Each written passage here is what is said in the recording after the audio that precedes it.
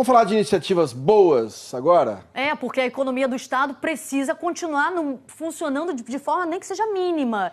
E aí o que está acontecendo? Grandes redes de supermercados vão comprar agora, vão fazer parcerias com um pequeno produtor. É, é, é, aquela produção de, de repente, alface na região serrana, morangos, por exemplo. Então essas grandes redes vão comprar deles para estimular a economia, manter a economia, a economia local, se né? movimentando. Né? Priscila Chagas está ao vivo. São recomendações que muitos grandes empresários estão fazendo, que é o seguinte: você vai comprar alguma coisa lá fora? Não, não, não. Segura um pouquinho, compra aqui do lado, né? Muda o fornecedor para ajudar. Isso, ajuda a comunidade, né? É uma atitude, Fachel, que vai fazer a diferença na vida de muitas famílias, né? Principalmente os pequenos produtores. A gente lembra que aqui no estado do Rio de Janeiro, 70% dos produtores rurais são familiares, né? São mais ou menos 220 mil pessoas nessa situação. Então, essa semana já começou, né? Uma grande rede de supermercados já começou a comprar diretamente com esses pequenos produtores.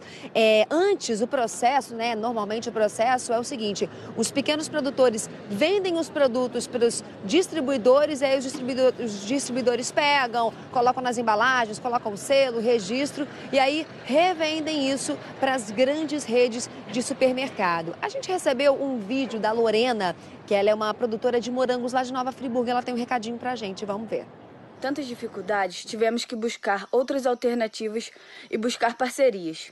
Em meio a isso tudo, encontramos uma parceria excelente com a Secretaria de Agricultura do Estado. Já fizemos a nossa primeira entrega de 50 cestas. Então, viemos aqui para tranquilizar vocês e dizer que a agricultura não para. Por isso, nós estamos aqui por vocês e vocês fiquem em casa por nós.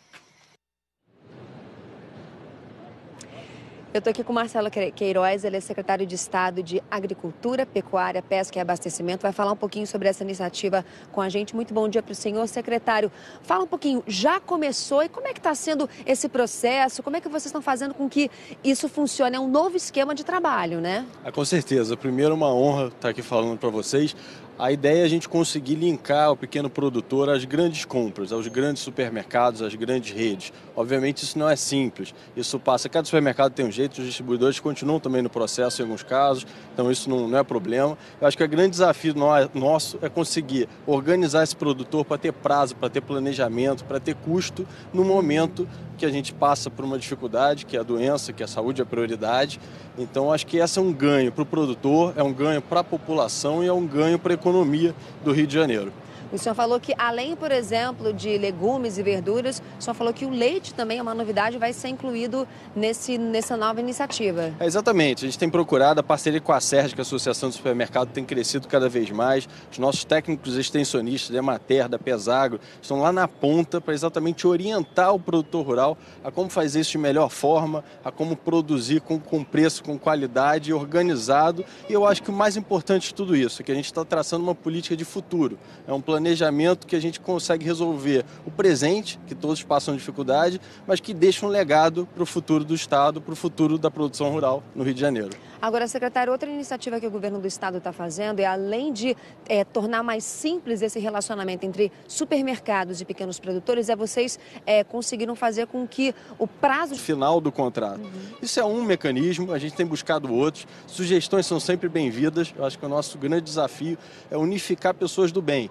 Então a gente tem tido a ajuda de outros secretários do Estado, o governador Witzel tem feito um trabalho excelente de equipe, que eu acho essa a nossa diferença, Assembleia Legislativa do Rio de Janeiro, Associação dos Supermercados e Distribuidores. Secretário, muito obrigada pela sua participação aqui no Bom Dia Rio, bom dia para o senhor.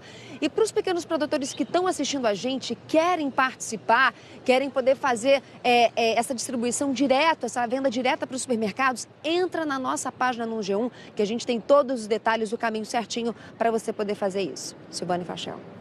Obrigado, Priscila Chagas, pelas informações. É bom Sil... que eles estão abertos, né, esses pequenos produtores, né, Fachel? Sim. Silvana, a gente falou agora há pouco da distribuição de cestas básicas aqui para famílias de alunos da rede municipal, né, aqui do Rio de Janeiro. É bom lembrar, a prefeitura nos lembra que é o seguinte, essas cestas básicas só estarão disponíveis para as famílias inscritas ou no Bolsa Família... São dois programas, né? Bolsa é, Família... Ou o Cartão Família Carioca. Se não então, tiver inscrito nesses dois programas sociais, não, acesso. não recebe a cesta. Aliás, esse tem sido um problema, né? Em todas as ações que é a falta de, de, de possibilidade de conseguir distribuir para quem não está cadastrado em algum programa. E tem muita que gente são os que não invisíveis. está. E tem muita gente que não está.